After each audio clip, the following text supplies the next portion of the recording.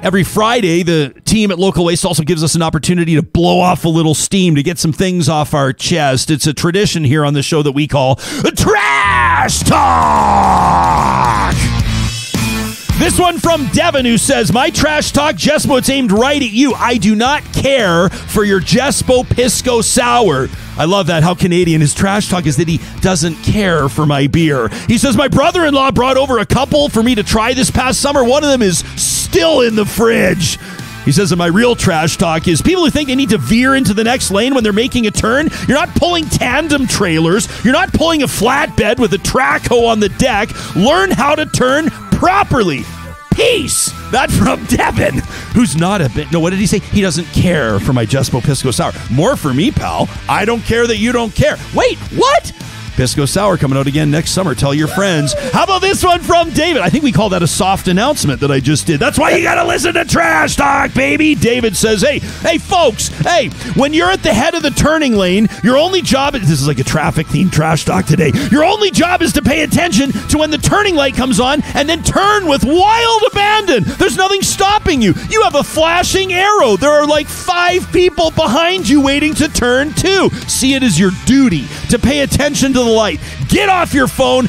Quit the navel gazing. Just go. That from David, not texting from traffic. How about this one from Shalane, who says, So last Thursday, Jespo, I decided to delay driving my kids to school because the roads were so bad from freezing rain and icy condition. So they were pumped. Extra time at home. But I wanted to know how much time they had. And I said I wasn't sure. I was checking road reports and then I thought it better we go later. And then they noticed I had Real Talk queued up on my laptop. So my son says, why don't we just go after Real Talk? And she says, so I agreed. Around 10.30 a.m. Mountain Time, the roads would be better. And she says, and then the show ended at 9.38. And the kids were not impressed that they had to leave an hour earlier. She says, now there may be good reasons why the show's tightening up, but try explaining that to my kids. They were trash talking you all the way to school. That from Shalane. Tell your kids, thanks for tuning in. And this one from Graham, who says, to the weasel at the Kinsmen Center last Sunday, who wore nothing but a small towel for a loincloth into the public co ed sauna.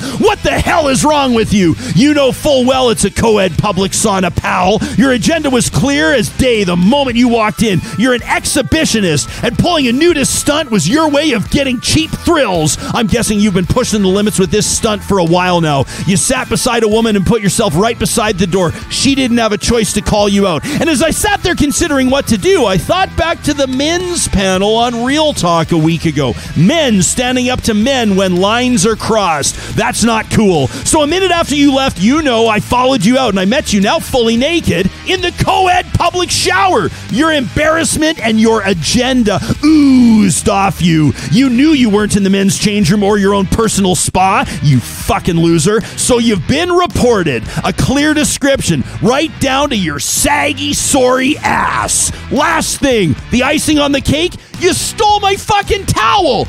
Get a life! That from Graham! Trash Talks are real emails sent to us to talk at ryanjespersen.com. We'd love to hear from you. Coming up on the show next week, what the recent verdicts in the Rittenhouse trial, the murder of Ahmaud Arbery, the Unite the Right defendants, those $26 million in damages awarded for Charlottesville, what do they mean for society? What do they mean here in Canada? Plus, a new study that finds older couples' heart rates synchronize. What does it say about love as we age?